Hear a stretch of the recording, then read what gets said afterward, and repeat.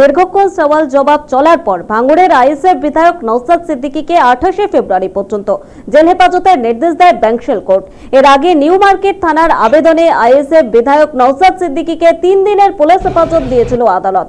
শনিবার ফের ব্যাংশাল আদালতে তোলার সময় নৌসাদ বলেছেন, জেল জরিমানা করে আটকাতে পারবে না। শনিবার দুপুরে শুনানি শেষে দেখা গেল, এদিনও জামিন পেলেন না ভাঙড়ের বিধায়ক। নিউ মার্কেট থানার মামলায় আঠাশে ফেব্রুয়ারি পর্যন্ত জেল হেফাজত হলো তাঁর। প্রসঙ্গত, গত একুশে জানুয়ারি ধর্মতলায় আইএসএফ এর বিক্ষোভ কর্মসূচিতে তুলকালাম কাণ্ড বেঁধেছিল ডরিনা ক্রসিং এ সেখান থেকে নৌসাদ সহ বাকিদের গ্রেফতার করে হেয়ার স্ট্রিট থানার পুলিশ। তারপর হেয়ার স্ট্রিট থানার পুলিশে হেফাজতের মেয়াদ পুরনোর পর নৌসাদের জেল হেফাজত পাঠায়। নৌসাদকে জেল হেফাজত পাঠায় ব্যাংশাল কোর্ট।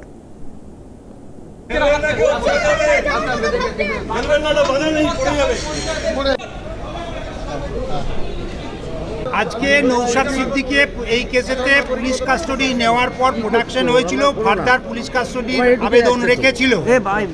ইনভেস্টিগেটিং এজেন্সির তরফ থেকে লার্নেড চিফ মেট্রোপলিটন এই চিফ মেট্রোপলিটন ম্যাজিস্ট্রেট তা কনসিডার করে রিজেক্ট করেছেন।